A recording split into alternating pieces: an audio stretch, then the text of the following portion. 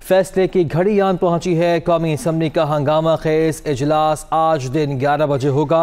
वजी अजम के खिलाफ तहरीक आदम अतमाद इजलास के एजेंडे में शामिल है। ईवान की राय है कि वजी अजम इमरान खान ईवान का अतमाद खो चुके हैं। करारदाद के मतन के मुताबिक वजी अजम में ईवान का अतमाद खो चुके, उन्हें अहदे से हटाया जाए।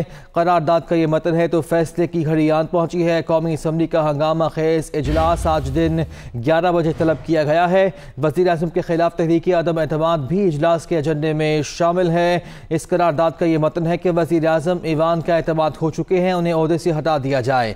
जबकि कौमी असम्बली सेक्रेटेरिएट का एम एन एस के नाम हिदायतनामा भी सामने आ चुका है, जिसके मुताबिक कौमी असम्बली के अजलास में एम एन एस की गाड़ी में आमद पर पाबंदी आयद कर दी गई है।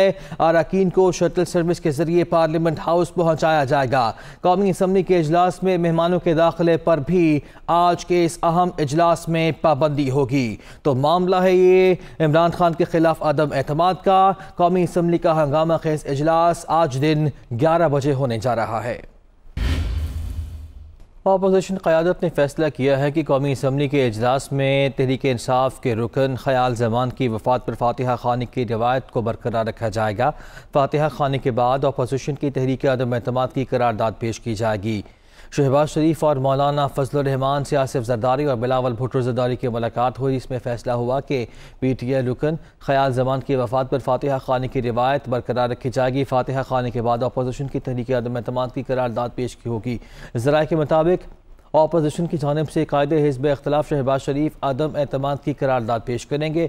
अपोजिशन की एक सौ बासठ में से एक सौ इकसठ अरकान पूरे करने की ज़िम्मेदारी तमाम जमातों के सरबराहों पर होगी। अपोजिशन का एक रुकन अली वज़ीर जेल में है। जरा के मुताबिक अली वज़ीर की इजलास में शिरकत के लिए प्रोडक्शन ऑर्डर जारी नहीं किए गए। अपोजिशन की जानब से अली वज़ीर के प्रोडक्शन ऑर्डर के लिए स्पीकर को दरख्वास्त भी दी जाएगी।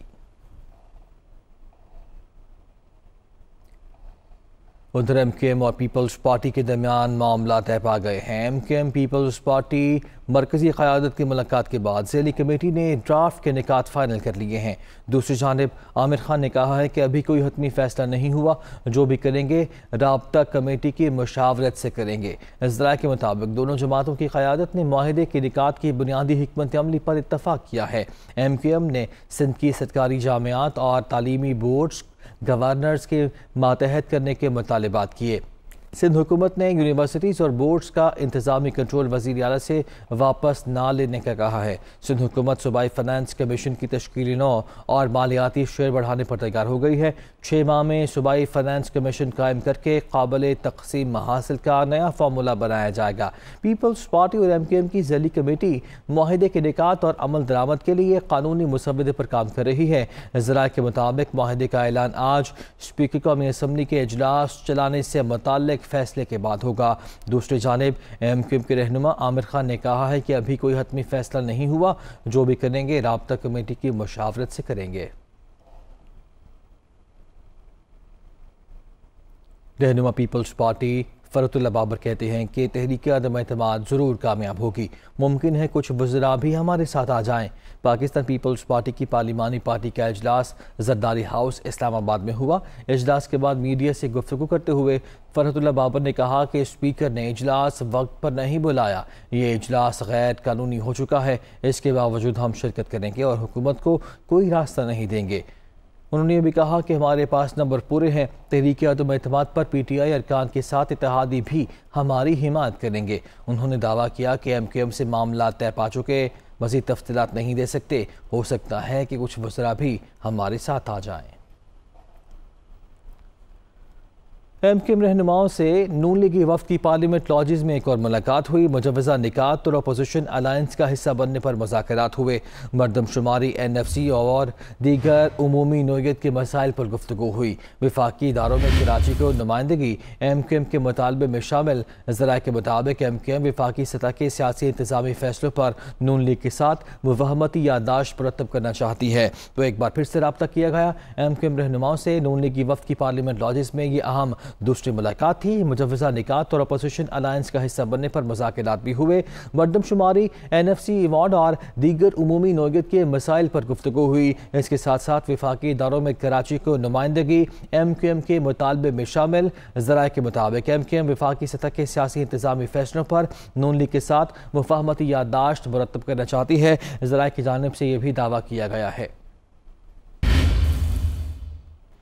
विफाक की वजी इतलात फवाद चौधरी ने कहा है कि सिंध हाउस में हॉर्स ट्रेंडिंग हुई। मुनहरफ अरकान वोट दे सकेंगे या नहीं, इसका फैसला स्पीकर करेंगे। मुनहरफ अरकान की ताहयात नाहरी होगी। वह इस्लामाबाद में मीडिया से गुफ्तु कर रहे थे। सिंध हाउस में जो खच्चर ट्रेडिंग, जो घोड़ा ट्रेडिंग, जो गदा ट्रेडिंग का जो बाज़ार और मंडी लगी है, उसका मुदावा अभी नहीं हुआ। पाकिस्तान का जो मुस्तबिल है, वो तो इस बात से जुड़ा हुआ है कि अदालत हॉर्स ट्रेडिंग के ऊपर कार्रवाई करे, खच्चर ट्रेडिंग को बैन करे गदा ट्रेडिंग को बैन करे, और ये जो बिकने का खेल है, इसको बंद हो, बंद होना चाहिए। ये जो हमारे लोग जो कि गए हैं उधर, जिनकी वीडियोस आई हैं, वो वोट इस्तेमाल कर सकेंगे या नहीं कर सकेंगे, उसके ऊपर इतफाक़ राय है कि ये फ़ैसला स्पीकर का होगा। स्पीकर साहब फैसला करेंगे कि वो वोट उनका काउंट होगा या नहीं होगा। और उसके बाद जो डिसक्वालिफिकेशन है, वो फॉर लाइफ हमारा मुद्दा यही है कि जो डिस्कालिफिकेशन है नाअहली है वो फॉर लाइफ है। पीपल्स पार्टी की रहनुमा शरी रहमान कहती हैं कि वजी अजम सुन लें पाकिस्तान में बादशाहत नहीं है आइन तोड़ने की कोशिश ना की जाए। नवीद कंवर का कहना था कि स्पीकर के पास कोई सवाबदीदी इख्तियार नहीं। असद कैसर कानून के मुताबिक अदम एतमाद की कार्रवाई को मुकम्मल करें। वह इस्लामाबाद में गुफ्तु कर रहे थे। इमरान खान न्याजी को ये सुन लेना चाहिए वाज तौर पर कि ये पाकिस्तान में बादशाहत नहीं है जी। आइन का, आइन इस वक्त बाला है और उसको मोड़ने तोड़ने की कोशिश नहीं करे। अब ये पाकिस्तान को जराने चले हैं, डंडा बरसाने चले हैं, कहते हैं कि हम नहीं बच सकते तो पाकिस्तान भी ना बचे। बात तो सिंपल सी है पार्लियामान का निज़ाम सड़कों पे मैदान जंग बनाना चाहते हैं। पहले इन्होंने पार्लियामेंट लॉजिस को मैदान जंग बनाया फिर आपने देखा सिंध हाउस पर जो हमला किया उन्होंने तो ये तो वफाक को तोड़ने तैयार हैं, हम ऐसा नहीं होने देंगे। इस नो कॉन्फिडेंस से भागने का उनके पास एक ही रास्ता रह गया है कि आइन शिकनी करें स्पीकर जो है वो उल्टी सीधी रूलिंग्स दे, ये वज़ीर उनके जो इस किस्म की बातें कर रहे हैं स्पीकर की सवाबदीद है कि ताहयात इसको जो है वो प्राइम मिनिस्टर डिक्लेयर करते ये तो नहीं होता ना। आइन सुप्रीम है स्पीकर सुप्रीम नहीं है कोई बंदा सुप्रीम नहीं है। तर्जुमान मुस्लिम लीग नून मरीम नसीब ने कहा है कि किसी भी रुकन को पार्लियामेंट जाने से रोका नहीं जा सकता। हुकूमती गुंडागर्दी और बदतमीज़ी की वजह से लोग पी टी आई को छोड़ रहे हैं। अगर हुकूमत इतनी ही पुरमाद है तो वोटिंग कराने से क्यों भाग रहे हैं? वो सुप्रीम कोर्ट के बाहर मीडिया से गुफ्तु कर रहे थे। हर अरकान असम्बली पार्लियामेंट भी जाएगा, उसको कोई नहीं रोक सकता। ना इनकी गुंडागर्दी रोक सकती है, ना इनकी बदमाशी रोक सकती है, ना इनकी धमकी रोक सकती है। पार्लियामान भी जाएगा और अपना वोट भी देगा और इन आइन और कानून के मुताबिक वो वोट काउंट भी होगा और इमरान खान साहब घर जाएँगे। अरकान अगर आपके साथ हैं तो वोट कराएँ, मैच खेलें, काउंटिंग कराएँ और घर जाएँ। ये बयानबाजी सरकारी वसाइल इस्तेमाल करके आठ आठ आठ प्रेस टॉक्स सुप्रीम कोर्ट के बाद तमाशे लोगों पर तोहमत लगाना। ये लोग आपको इसलिए छोड़ के जा रहे हैं क्योंकि आप झूठ बोलते हैं, तोहमत लगाते हैं, ना अहल हैं, ना लायक हैं, चोर हैं, गुंडागर्दी करते हैं, लोगों को धमकी देते हैं, नफरत फैलाते हैं और लोगों को गाली देते हैं। ये और लोग आपको छोड़ के जाएँगे। विफाकी वजी दाखिला शेख रशीद ने कहा है कि अगर अपोजिशन के पास हमारे बंदे हैं तो हमारे पास भी उनके बंदे हैं। इतिहादी सोच समझ कर फैसला करें। उस्मान बुजदार इमरान खान को छोड़कर कहीं नहीं जा रहे। सत्ताईस मार्च को परेड ग्राउंड में तारीखी जलसा होगा। विफाकी वजी दाखिला ने इंतबात जल्द होने का इंतज़ाम भी दे दिया। वो लाहौर में प्रेस कॉन्फ्रेंस कर रहे थे। पाकिस्तान की तारीख का तारीखी और अजीम तरीन जलसा इमरान खान सत्ताईस तारीख की शाम चार बजे परेड ग्राउंड में करेंगे। अगर उनके पास कुछ बंदे हैं, हमारे नाराज़ हुए हुए, जिनको राज़ी करने की कोशिश हो रही है तो हमारे पास भी उनके बंदे हैं जो नहीं जाएँगे। और जो लोग ये समझ रहे हैं कि शायद पार्टियाँ बदलने से कोई इज़्ज़त मिलती है तो कोई इज़्ज़त नहीं मिलती। पाकिस्तान में इलेक्शन जल्दी भी हो सकते हैं। ये भी इन लोगों के जहन में रहे। और मुझे इतिहादियों से पूरी उम्मीद है कि वो दो तीन दिन में, क्योंकि इतिहादी हमेशा देर से फैसला करते हैं। और ये अच्छी बात है कि सोच समझ कर फैसला करें। जो कहा जा रहा है कि उस्मान बुजदार कहीं कहीं नहीं जा रहा, अभी मैं उसको मिल के आया वो भी मेरी तरह चटान की तरह इमरान खान के साथ कायम है। ज़िला इंतजामिया ने जे यू आई फे को जलसा करने की इजाज़त दे दी है। जे यू आई फे का जलसा सेक्टर एच नाइन में होगा।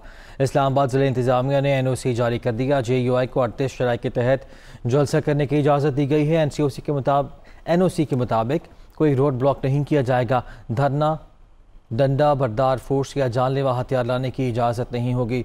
रेड जोन में दफ़ा एक सौ चवालीस के बायस रेड जोन के बाहर एक किलोमीटर की हदूद तक जाने की इजाज़त भी नहीं होगी। जलसे और रैली की अंदरूनी सिक्योरिटी की ज़िम्मेदारी मुंतजमीन पर होगी। किसी भी इमलाक को नुकसान पहुँचा तो जिम्मेदार मुंतजमीन होंगे।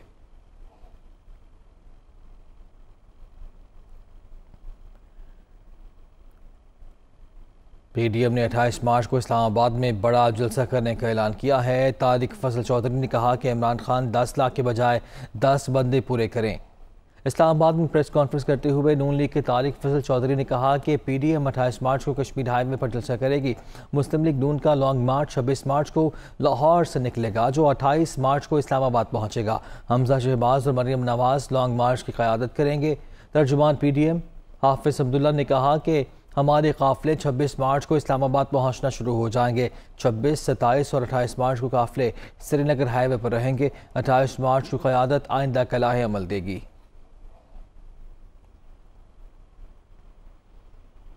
अब खबर यह है, जबता अखलाक की खिलाफ वर्जी पर वजी अजम इमरान खान को एक और जुर्माना।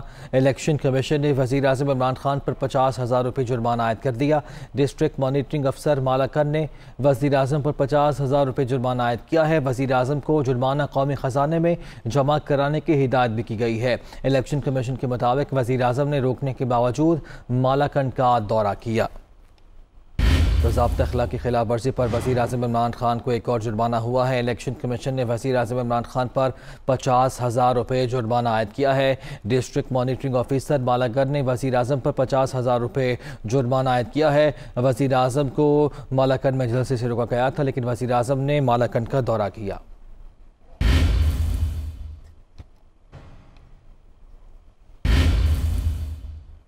Chairman P S P Mustafa Kamal कहते हैं कि इंतबात में ज़्यादती हमारे साथ भी हुई थी, मगर पीपल्स पार्टी की वजह से पी डी एम का हिस्सा नहीं बने।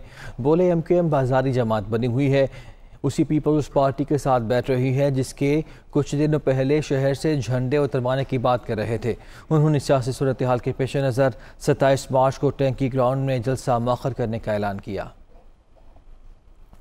जरदारी साहब और उनकी वो पीपल्स पार्टी जिसमें अभी चंद दिन पहले की वीडियो है खालिद मकबूल की, कि बैठकर अपने साथ वाले को कह रहा है कि उसका पीपल्स पार्टी वालों के झंडे उतरवाने हैं, मैंने पूरी टीम तैयार कर रखी है। आज उसी पीपल्स पार्टी के के साथ बैठकर आज अगली हुकूमतें बनाने का, कि सारी जो है वो कस्में और वादे हो रहे हैं। पीडीएम का जलसा पीडीएम का प्लेटफॉर्म इसलिए नहीं ज्वाइन किया कि वहाँ पर पाक पीपल्स पाकिस्तान पीपल्स पार्टी मौजूद है।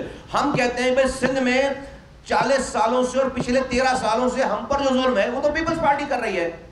इमरान खान का कसूर ये कि उसने हमें बचाया नहीं, लेकिन मारा तो हमें पीपल्स पार्टी ने उस वो पीपल्स पार्टी पीडीएम के जल्द, के स्टेज पर खड़े होकर इनकलाब की बातें कर रही है। तो इनकलाब तो इनके खिलाफ आना चाहिए।